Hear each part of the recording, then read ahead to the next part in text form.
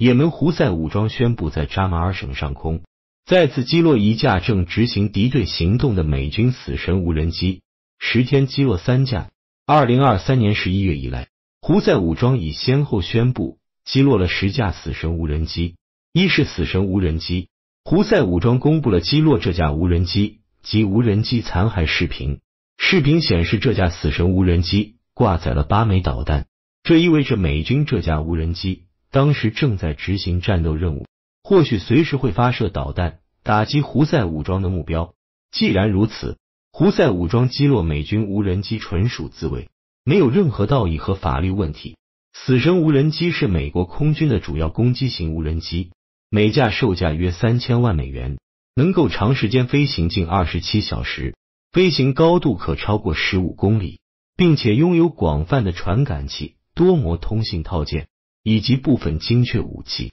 从而可对具有高价值、时效性的目标实施打击，开展协调和侦察的独特能力。因为卓越的性能，美国军方和中央情报局一直使用死神无人机执行袭击任务。二零二零年一月三日凌晨，美军使用死神无人机。在伊拉克机场外的高速公路上，精确袭杀了伊朗圣城旅高级指挥官苏莱曼尼少将。这次暗杀行动实现了及时摧毁，颠覆了传统作战样式。无人机在发现苏莱曼尼少将以后，没有将情报回传给美军后方指挥中心进行处理，直接依靠无人机的智能处理系统进行识别、监视和打击。这导致苏莱曼尼少将在一瞬之间被击毙。这是美军军事技术的高明之处。要知道，美军装备的死神无人机绝非是活跃在乌克兰战场上那些一千元人民币的民用无人机能比的。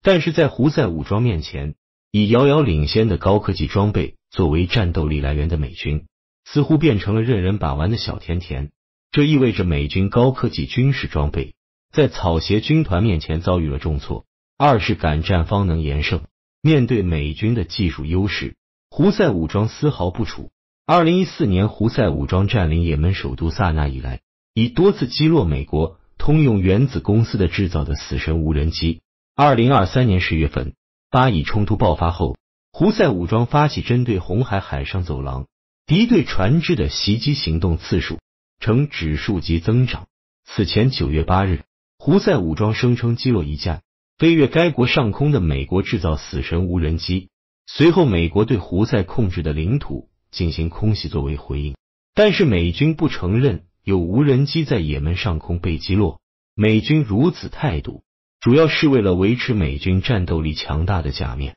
更不愿因为频繁被击落而影响美国外销武器在全球的市场份额。胡塞武装的战力来自于前也门政府以及伊朗的暗中支持。二零一四年，胡塞武装占领首都萨那之后，控制了也门政府军留下来的大部分武器库，包括苏联的萨姆地对空导弹及其配套雷达，足以威胁到无人机这类目标。胡塞武装战略意识非常高明，他们意识到拥有的三大军事能力足以成为控制红海海域的决定性军事力量，这包括导弹打击能力、海军尤其是无人舰艇能力，以及苏式装备的防空能力。胡塞武装拥有强大的阿拉木地对空导弹，可以在任何时候、任何天气条件下攻击所有类型的飞机、直升机、巡航导弹以及无人机系统。胡塞武装将地对空阵地部署在隐蔽的山区和郊区，通过锁定美军航母的位置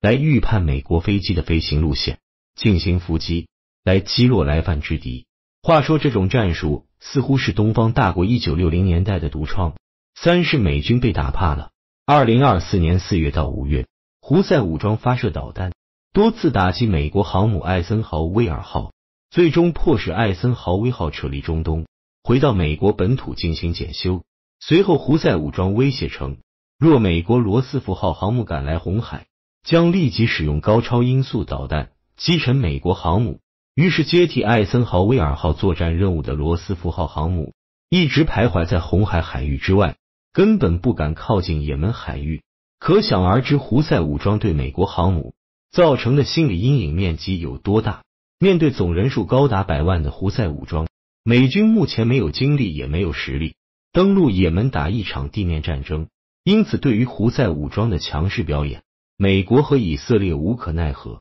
只能多次轰炸也门的机场和其他目标，但是效果非常有限。四是高超音速导弹见其功。那么，胡塞武装有没有高超音速导弹？答案是有的。胡塞武装曾经官宣已拥有高超音速导弹哈蒂姆二，这款高超音速导弹就是美国航母最大的威胁。九月十五日，以色列首都特拉维夫。遭受导弹打击，以色列发射了二十枚拦截导弹没能奏效，导弹打击了附近的一个军事目标。随后，胡塞武装宣称为此次袭击负责，这意味着以色列将随时面临防不住的导弹袭击，这就是以色列的噩梦。五是群起而攻之，胡塞武装的表现证明，只要有先进的武器，再加上敢战的意志，伊斯兰世界同样可以反抗西方的霸权。美国自以为无敌的霸权体系就这样被胡塞武装一针扎破，于是美国和以色列的军事霸权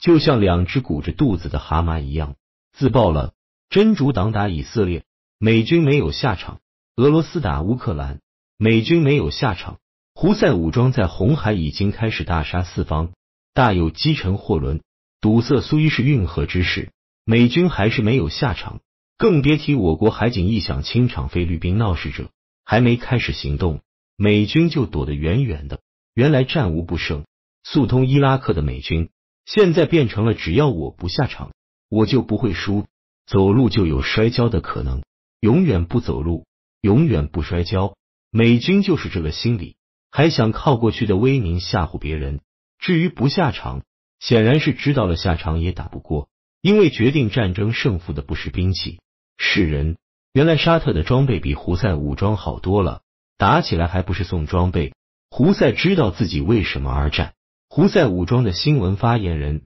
下班了，赶坐群众的摩的回家，军民一家亲。胡塞武装知道打起来是保家卫国，是为了自己的老乡，所以胡塞武装敢打。胡塞武装的成员也知道自己出什么事情，组织不会不管，组织会维护伤员或者烈士家属的利益。所以也不怕死，但是沙特不一样，沙特的兵知道自己维护的是王爷的利益，自然是出工不出力，出工能领工资，出力真的要死人。与其用力打胡塞，不如把装备送给胡塞，自己跑回去。装备是王爷的，命是自己的，活着才能领工资。美军更不一样，沙特军队起码知道自己是为了工资打仗，知道自己保卫的是具体的哪个王爷。知道虽然真死了是死了，但是退役回去，沙特起码也优待一下退役军人。美军甚至不知道退役回去要面对的是什么生活。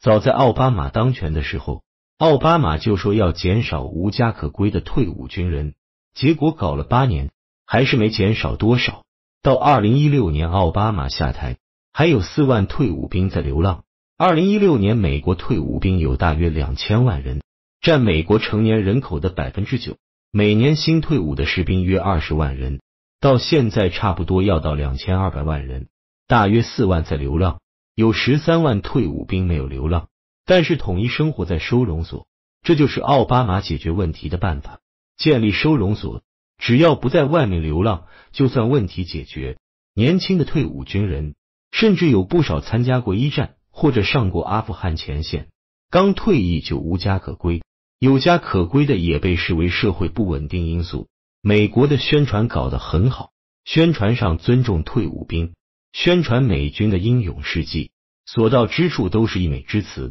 目的是忽悠美国人去参军，让美国人感受到参军了你就是英雄，你的待遇差不了。但是美国社会真的把退伍军人当英雄吗？他们只知道他们心寒了，心寒了，于是便也渐渐的打不了仗了。